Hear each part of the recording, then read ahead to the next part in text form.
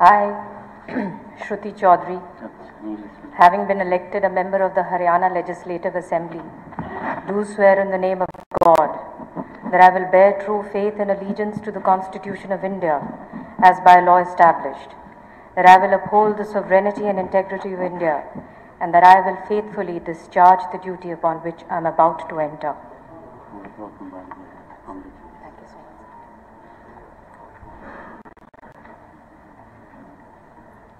Bharti Singh Rao.